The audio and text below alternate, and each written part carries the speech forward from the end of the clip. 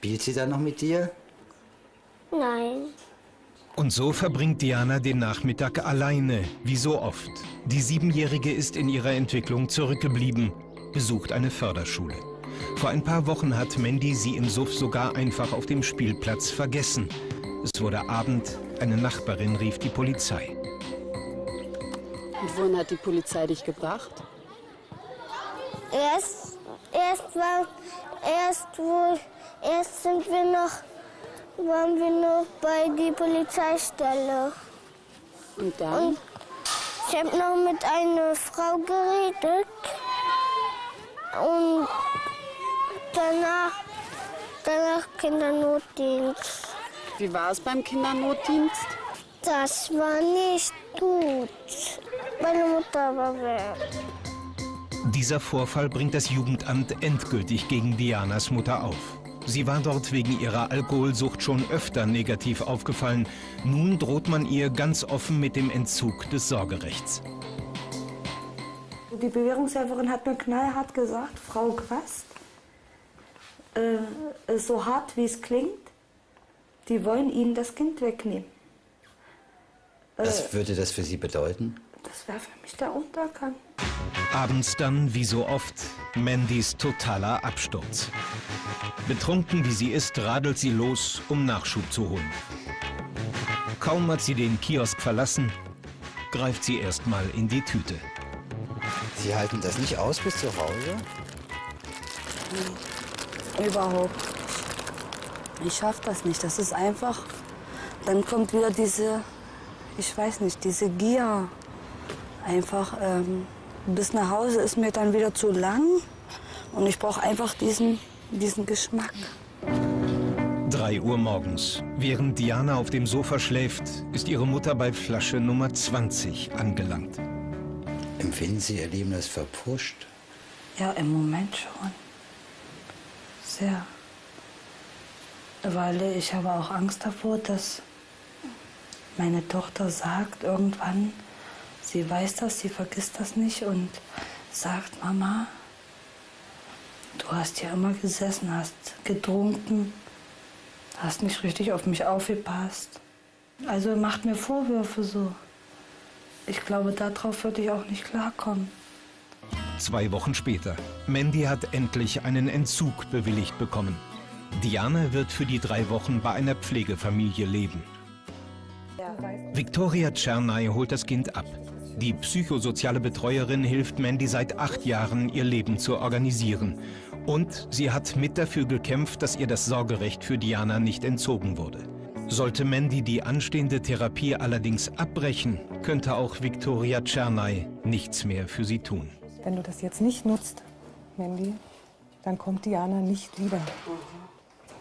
Hast du das verstanden? Die kommt nicht wieder zu dir zurück, wenn du das nicht schaffst. Okay?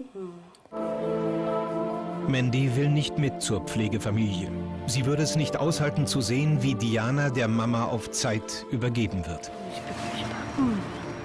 Doch bei aller Trauer ist ihr klar, dass es so weit kam, hat sie selbst zu verantworten. Es tut mir so weh, weil das hätte alles nicht sein brauchen, wenn ich das nicht gemacht hätte mit dem Alkohol und sie wäre nie weggekommen. Das ist eigentlich nur meine Schuld. Die Schuldgefühle kommen jetzt hoch. Noch zwei Stunden bis zum Entzug. Mandy entstammt selbst einer Alkoholikerfamilie. Ihr Vater trank, ebenso ihr Großvater. In ihrer Kindheit wird sie geschlagen und vernachlässigt. Mit 15 raucht sie ihren ersten Joint. Mit 16 ist sie heroinabhängig. Als sie 2002 schwanger wird, schafft sie es, vom Heroin wegzukommen. Seither lebt sie mit der Ersatzdroge Methadon und dem täglichen Suff. Mit beidem soll jetzt Schluss sein. Ohne meine Tochter, ich, ich würde das gar nicht schaffen, alles. Ich würde keine Therapie machen, ich würde nicht aufhören mit Trinken. Ohne meine Tochter hätte das Leben also keinen Sinn für mich. Viktoria Czarnay bringt sie zur DRK-Entzugsklinik im Berliner Wedding.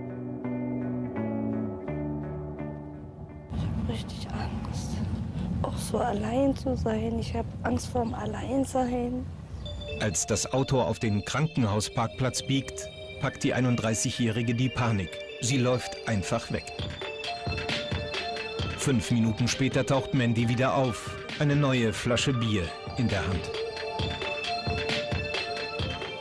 Ich trinke einfach nur noch den letzten Schluck und ich weiß nicht.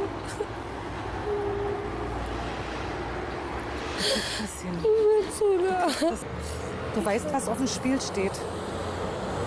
Ich hätte weiß nie das. gedacht, dass das so schlimm wird. Ich dann noch Nein. einen kleinen Schluck.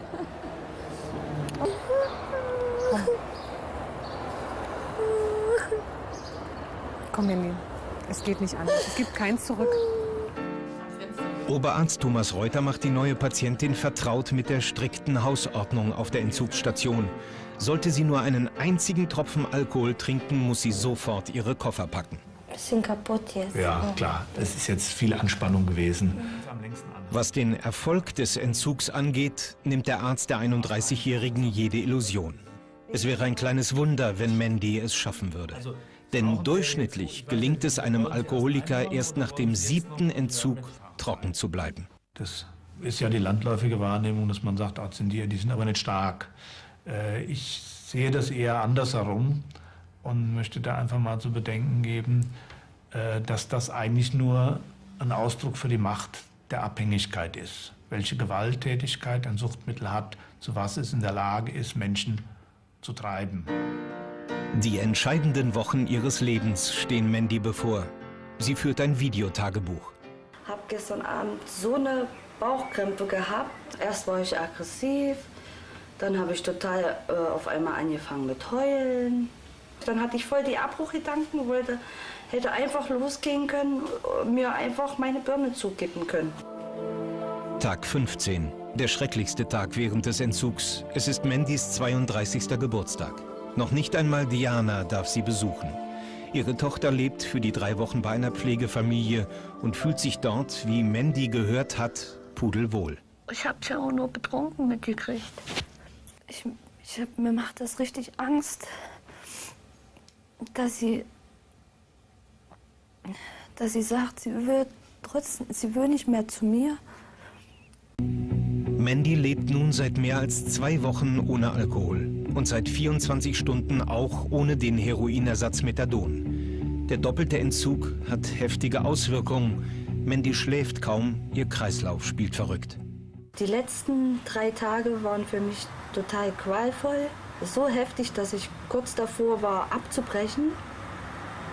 Und ich hatte so Schmerzen in die Beine, äh, in die Arme und so eine Krämpfe und Kribbeln, dass ich, dass, dass ich das fast nicht mehr aushalten konnte. Doch Mandy hält durch. Nach 21 Tagen wird sie entlassen. Ich habe es geschafft. Und darauf sind Sie stolz. Ja, richtig. Jetzt fühle ich mich auch, jetzt kann ich meinen Kopf auch höher heben, brauche mich nicht mehr zu schämen. Draußen wartet der Grund für ihr Durchhaltevermögen.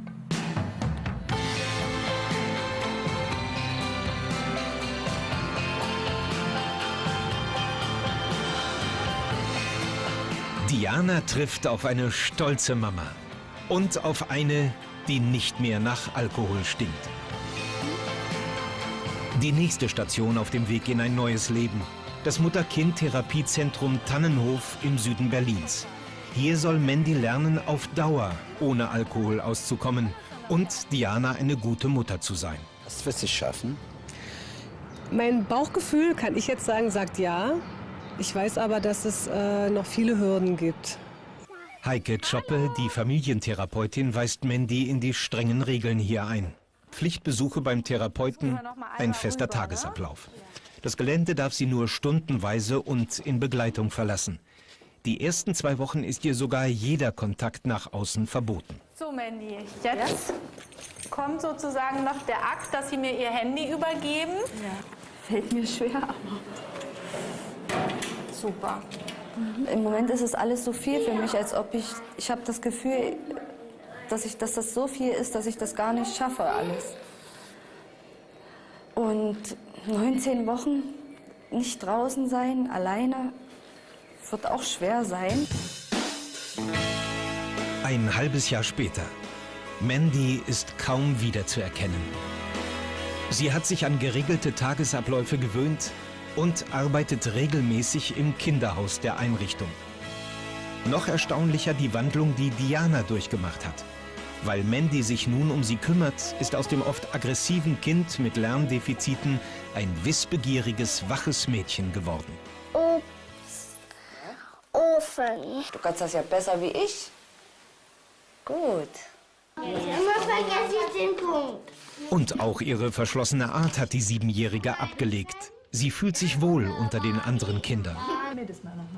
Sie hat sich gut entwickelt, sowohl in äh, ihrer sprachlichen Entwicklung hat sie große Fortschritte gemacht, als auch in ihrem Selbstbewusstsein.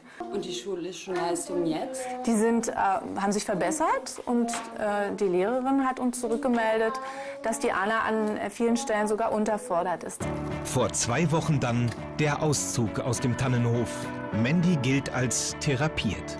So sehr sich die beiden darauf freuen, in den Alltag entlassen zu werden, Mandy weiß, der ganz große Kampf steht ihr noch bevor. Jetzt fängt es eigentlich erst mal richtig an, die Realität draußen. Dort wird man überall mit Alkohol konfrontiert und jetzt ist eigentlich das Kämpfen noch größer wie hier. Ich habe totale Zukunftsängste, aber ich bin schon mal froh, dass ich das hier geschafft habe. Und so gönnt die 32-Jährige sich und Diana erst einmal ein paar unbeschwerte Stunden auf dem Weihnachtsmarkt am Alexanderplatz, um Energie zu tanken für das neue, aufregende, aber gefährliche Leben, das nun auf sie zukommt.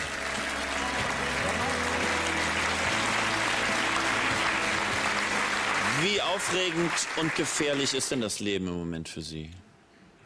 Also ich kämpfe jeden Tag aufs Neue und sage mir immer, also ich schaue noch nicht so weit voraus. Halt, ich sage mir jeden Tag nur für heute kein Alkohol und das klappt ganz gut. Was sind so die schlimmsten Momente? Ja, im Moment ähm, leide ich halt auch an Depressionen und ähm, ich bin halt äh, viel zu Hause, um halt äh, keinen falschen Weg wieder einzuschlagen, weil ich einfach Angst davor habe. Sie haben lange nicht gemerkt, dass sie äh, so viel getrunken hat, weil sie es ganz gut verheimlicht hat? Das ging ganz gut. Äh, Mandy hat ja auch zwischendurch gearbeitet äh, und hat also wirklich auch äh, in, in der Arztpraxis, wo sie gewesen ist, trotz äh, Alkoholtest und äh, Kontrollen, äh, es immer geschafft, 0-0 zu pusten. Das ist lange verheimlicht worden. Und äh, irgendwann äh, gab es also auch wieder eine Krise, die ja auch immer normal in der ganzen Betreuungszeit in diesem Verlauf ist. Und äh, da kam es nochmal richtig zur Sprache und dann wurde es auch thematisiert. Ja. Es gilt weiter ein Rückfall und das Kind ist weg?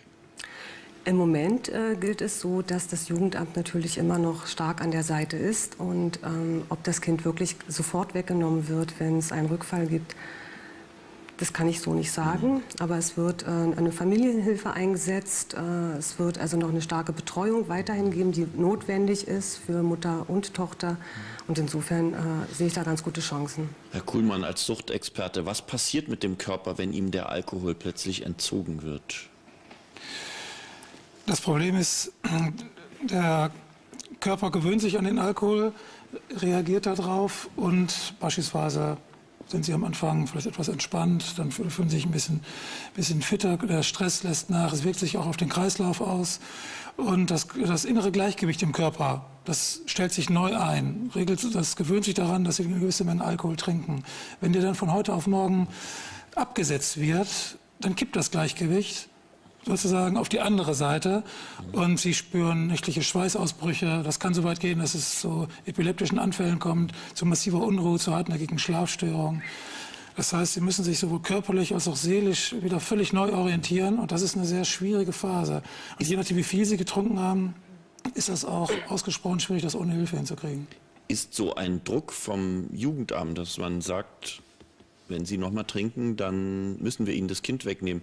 Halten Sie den für so eine Therapie für hilfreich oder eher kontraproduktiv? Wir machen die Erfahrung, wir, wir arbeiten viel mit dem Jugendamt zusammen, weil wir sowohl im Bereich der Ambulanz als auch im Entzug, als auch in der Langzeittherapie viele Menschen haben, die in ihrer Lebenssituation sind. Und grundsätzlich muss ich sagen, erlebe ich die Zusammenarbeit beim Jugendamt als sehr hilfreich, auch für die Betroffenen. In Einzelfällen ist es natürlich auch eine schwierige Zusammenarbeit. Ist die Drucksituation gut oder eher nicht gut?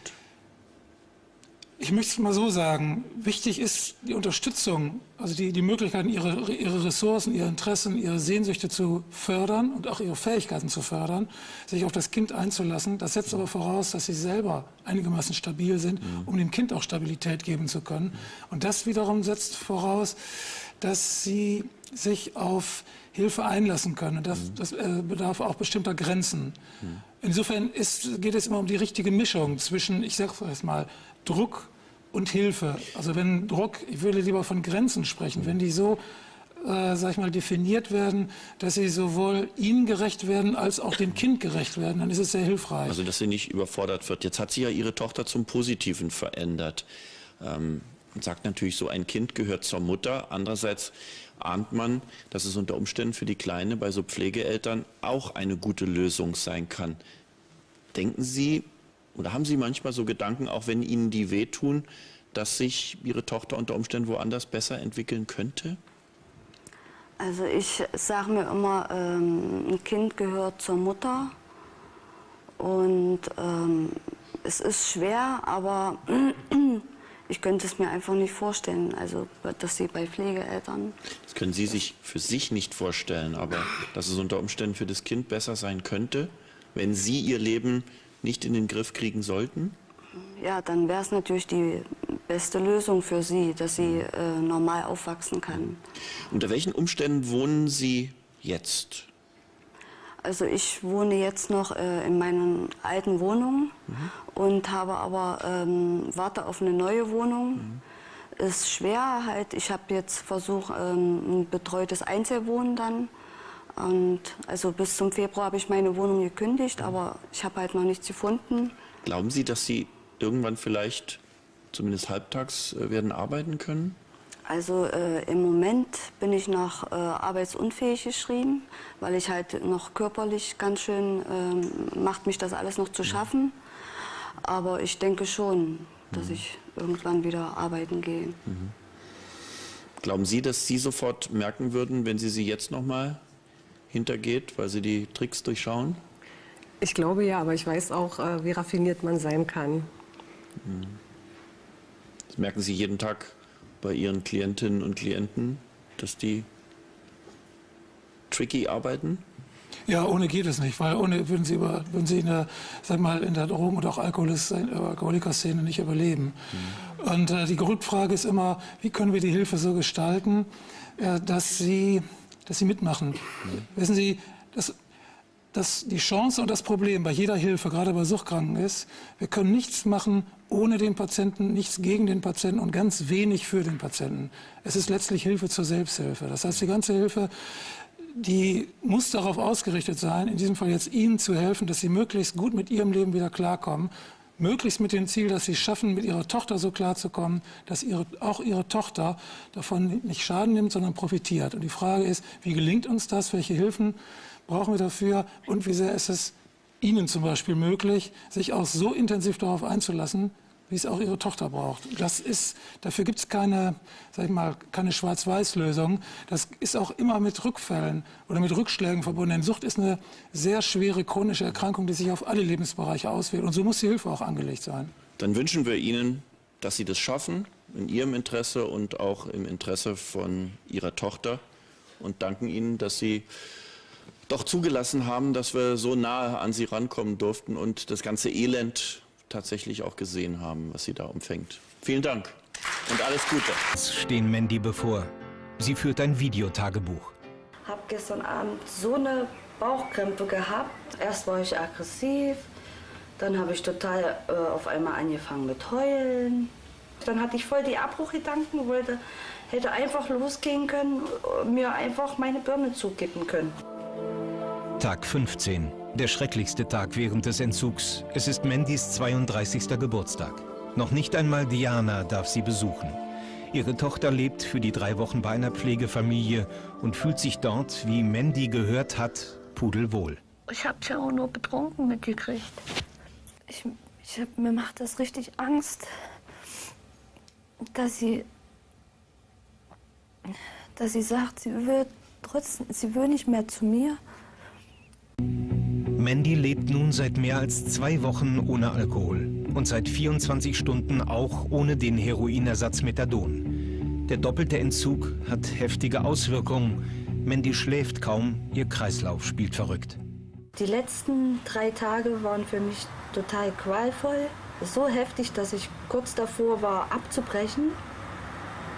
Und ich hatte so Schmerzen in die Beine, äh, in die Arme und so eine Krämpfe und Kribbeln, dass ich, dass, dass ich das fast nicht mehr aushalten konnte.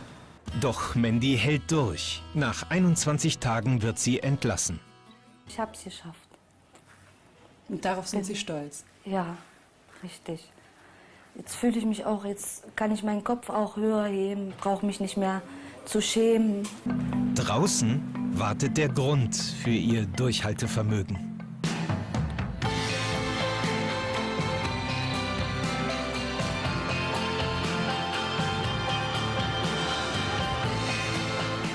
Diana trifft auf eine stolze Mama und auf eine, die nicht mehr nach Alkohol stinkt. Die nächste Station auf dem Weg in ein neues Leben. Das Mutter-Kind-Therapiezentrum Tannenhof im Süden Berlins. Hier soll Mandy lernen, auf Dauer ohne Alkohol auszukommen und Diana eine gute Mutter zu sein. Das wird sie schaffen. Mein Bauchgefühl, kann ich jetzt sagen, sagt ja. Ich weiß aber, dass es äh, noch viele Hürden gibt. Heike Zoppe, die Familientherapeutin, weist Mandy in die strengen Regeln hier ein. Pflichtbesuche beim Therapeuten, ein fester Tagesablauf. Das Gelände darf sie nur stundenweise und in Begleitung verlassen. Die ersten zwei Wochen ist ihr sogar jeder Kontakt nach außen verboten. So, Mandy, jetzt kommt sozusagen noch der Akt, dass Sie mir Ihr Handy übergeben. Ja, fällt mir schwer. Super. Ist ja die landläufige Wahrnehmung, dass man sagt, sind die, die sind aber nicht stark. Äh, ich sehe das eher andersherum und möchte da einfach mal zu bedenken geben, äh, dass das eigentlich nur ein Ausdruck für die Macht der Abhängigkeit ist. Welche Gewalttätigkeit ein Suchtmittel hat, zu was es in der Lage ist, Menschen zu treiben. Die entscheidenden Wochen ihres Lebens stehen Mandy bevor. Sie führt ein Videotagebuch. Hab gestern Abend so eine Bauchkrämpfe gehabt. Erst war ich aggressiv, dann habe ich total äh, auf einmal angefangen mit Heulen. Dann hatte ich voll die Abbruchgedanken, wollte, hätte einfach losgehen können, mir einfach meine Birne zukippen können. Tag 15. Der schrecklichste Tag während des Entzugs. Es ist Mandys 32. Geburtstag. Noch nicht einmal Diana darf sie besuchen.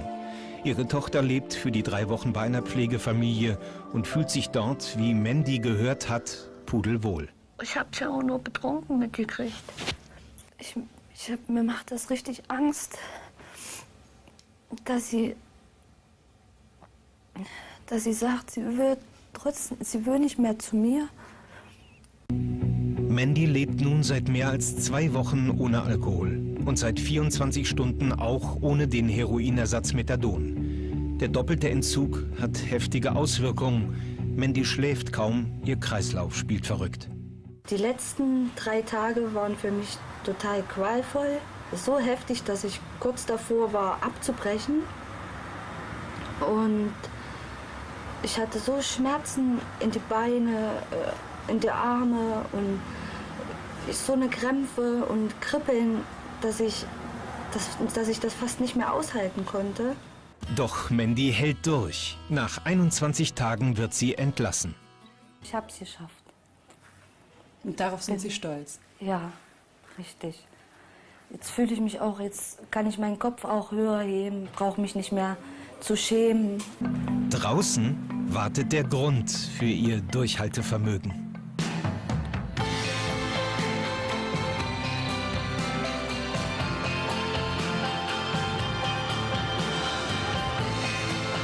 Diana trifft auf eine stolze Mama und auf eine, die nicht mehr nach Alkohol stinkt.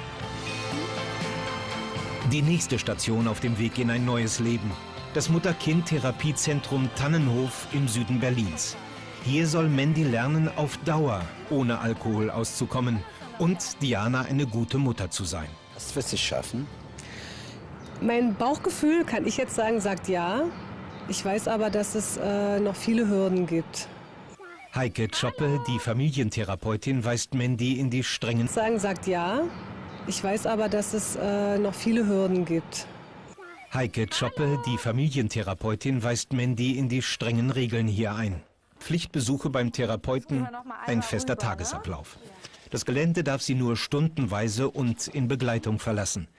Die ersten zwei Wochen ist ihr sogar jeder Kontakt nach außen verboten. So, Mandy, jetzt kommt sozusagen noch der Akt, dass Sie mir Ihr Handy übergeben. Ja, fällt mir schwer. Super. Mhm. Im Moment ist es alles so viel für mich, als ob ich, ich habe das Gefühl, dass, ich, dass das so viel ist, dass ich das gar nicht schaffe, alles. Und 19 Wochen nicht draußen sein, alleine, wird auch schwer sein. Ein halbes Jahr später. Mandy ist kaum wiederzuerkennen. Sie hat sich an geregelte Tagesabläufe gewöhnt und arbeitet regelmäßig im Kinderhaus der Einrichtung. Noch erstaunlicher die Wandlung, die Diana durchgemacht hat. Weil Mandy sich nun um sie kümmert, ist aus dem oft aggressiven Kind mit Lerndefiziten ein wissbegieriges, waches Mädchen geworden. Ofen. Du kannst das ja besser wie ich. Gut. Immer vergesse ich den Punkt. Und auch ihre verschlossene Art hat die Siebenjährige abgelegt. Sie fühlt sich wohl unter den anderen Kindern. Sie hat sich gut entwickelt, sowohl in äh, ihrer sprachlichen Entwicklung hat sie große Fortschritte gemacht, als auch in ihrem Selbstbewusstsein. Und die schulischen Leistungen jetzt? Die sind, äh, haben sich verbessert und äh, die Lehrerin hat uns zurückgemeldet, dass die Anna an äh, vielen Stellen sogar unterfordert ist. Vor zwei Wochen dann der Auszug aus dem Tannenhof. Mandy gilt als therapiert. So sehr sich die beiden darauf freuen, in den Alltag entlassen zu werden, Mandy weiß, der ganz große Kampf steht ihr noch bevor. Jetzt fängt es eigentlich erst mal richtig an, die Realität draußen. Dort wird man überall mit Alkohol konfrontiert und jetzt ist eigentlich das Kämpfen noch größer wie hier. Ich habe totale Zukunftsängste, aber ich bin schon mal froh, dass ich das hier geschafft habe. Und so gönnt die 32-Jährige sich und Diana erst einmal ein paar unbeschwerte Stunden auf dem Weihnachtsmarkt am Alexanderplatz, um Energie zu tanken für das neue, aufregende, aber gefährliche Leben, das nun auf sie zukommt.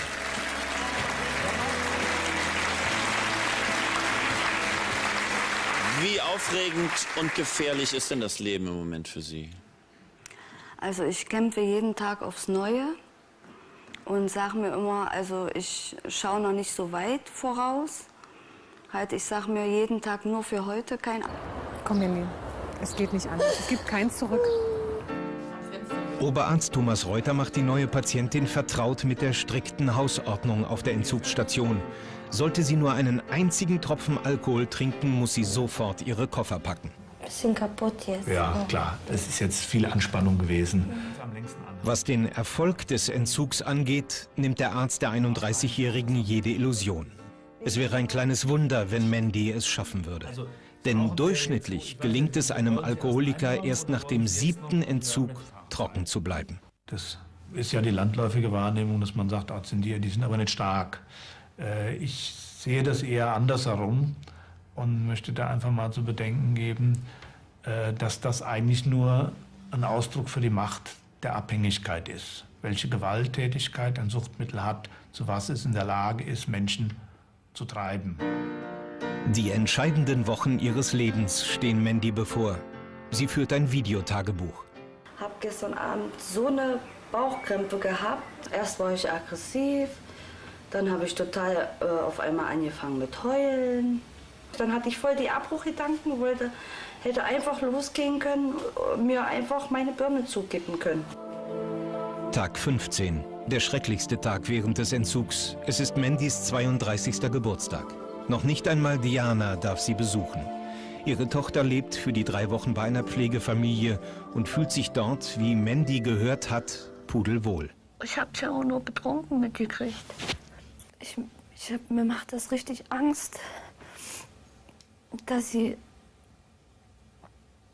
dass sie sagt, sie will trotzdem, sie will nicht mehr zu mir. Mandy lebt nun seit mehr als zwei Wochen ohne Alkohol und seit 24 Stunden auch ohne den Heroinersatz Methadon. Der doppelte Entzug hat heftige Auswirkungen. Mandy schläft kaum, ihr Kreislauf spielt verrückt. Die letzten drei Tage waren für mich total qualvoll. So heftig, dass ich kurz davor war, abzubrechen. Und ich hatte so Schmerzen in die Beine, äh, in die Arme und so eine Krämpfe und Kribbeln, dass ich, dass, dass ich das fast nicht mehr aushalten konnte. Doch Mandy hält durch. Nach 21 Tagen wird sie entlassen. Ich habe es geschafft. Und darauf sind Sie stolz? Ja, richtig. Jetzt fühle ich mich auch, jetzt kann ich meinen Kopf auch höher heben, brauche mich nicht mehr zu schämen.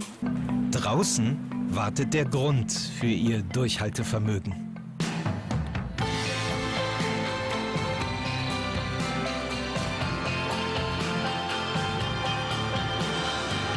Einfach meine Birne zukippen können. Tag 15. Der schrecklichste Tag während des Entzugs. Es ist Mandys 32. Geburtstag. Noch nicht einmal Diana darf sie besuchen. Ihre Tochter lebt für die drei Wochen bei einer Pflegefamilie und fühlt sich dort, wie Mandy gehört hat, pudelwohl. Ich hab's ja auch nur betrunken mitgekriegt. Ich, ich hab, mir macht das richtig Angst, dass sie, dass sie sagt, sie will trotzdem, sie will nicht mehr zu mir. Mandy lebt nun seit mehr als zwei Wochen ohne Alkohol und seit 24 Stunden auch ohne den Heroinersatz Methadon. Der doppelte Entzug hat heftige Auswirkungen. Mandy schläft kaum, ihr Kreislauf spielt verrückt. Die letzten drei Tage waren für mich total qualvoll. So heftig, dass ich kurz davor war, abzubrechen. Und ich hatte so Schmerzen in die Beine, äh, in die Arme und so eine Krämpfe und Kribbeln, dass ich, dass, dass ich das fast nicht mehr aushalten konnte. Doch Mandy hält durch. Nach 21 Tagen wird sie entlassen. Ich habe es geschafft. Und darauf sind Sie stolz? Ja, richtig. Jetzt fühle ich mich auch, jetzt kann ich meinen Kopf auch höher heben, brauche mich nicht mehr zu schämen. Draußen wartet der Grund für ihr Durchhaltevermögen.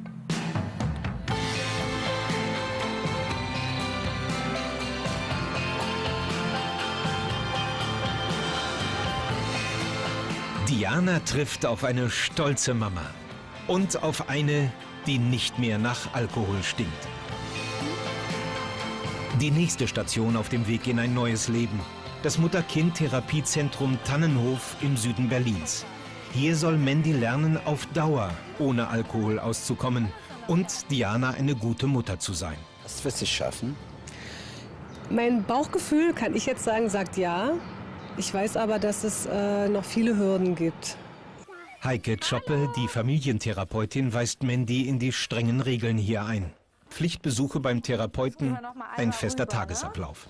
Das Gelände darf sie nur stundenweise und in Begleitung verlassen. Die ersten zwei Wochen ist ihr sogar jeder Kontakt nach außen verboten. So, Mandy, jetzt kommt sozusagen noch der Akt, dass Sie mir Ihr Handy übergeben. Ja, fällt mir schwer. Super. Im Moment ist es alles so viel für mich, als ob ich, ich habe das Gefühl, dass, ich, dass das so viel ist, dass ich das gar nicht schaffe alles. Und 19 Wochen nicht draußen sein, alleine, wird auch schwer sein.